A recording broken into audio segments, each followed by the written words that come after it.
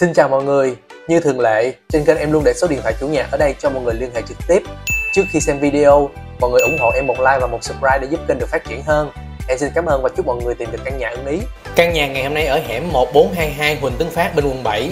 Xung quanh nhà có rất nhiều tiện ích như là trường trung học Ngô Quyền, siêu thị cấp mát, cửa hàng điện máy xanh, cây xăng, nhà sách Nguyễn Văn Cừ, phòng khám phụ sản 315, phòng khám nhi đồng 315, cửa hàng bách hóa xanh, cửa hàng thực phẩm Kết Food, trường tiểu học Nguyễn Văn Hưởng, nhà khoa Tâm Đức và phòng tập gym. Căn nhà ngày hôm nay có địa chỉ là 1422 38 14 đường Huỳnh Tấn Phát bên quận 7. Mọi người đi từ đầu hẻm vào tầm 100m. Tới ngã quẹo thứ ba bên tay phải thì quẹo vào. Xong đi men theo con đường này tầm vài chục mét tới ngã tư thì quẹo phải. Bỏ một căn nhà sẽ tới căn nhà của mình. Nhà có diện tích là ngang 4m7, dài là 12m, kết cấu là 3 tầng, giá đang kêu là 5 tỷ rưỡi vẫn còn thương lượng. Nhà kết cấu rất đẹp, khách hàng mua chỉ cần xách vali và ở ngay không cần phải sân sửa. Còn bây giờ thì em mời mọi người xem nhà.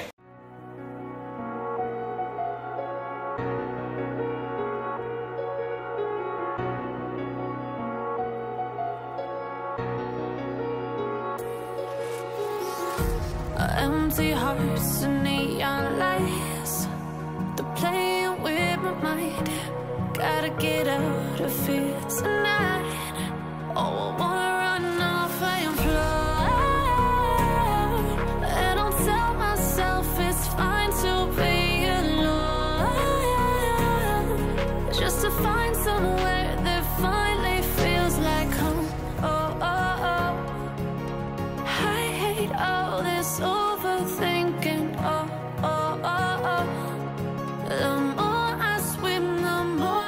same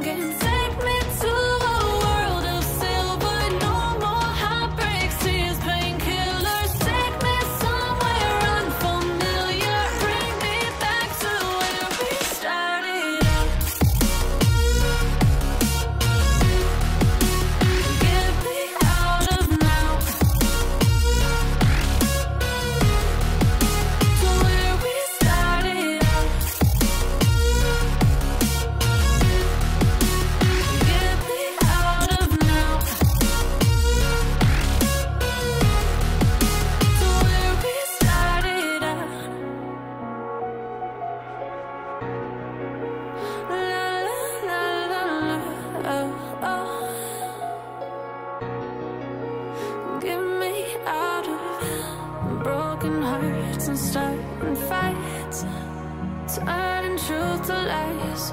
Gotta get up, stop wasting time. Yeah, I wanna run off and fly.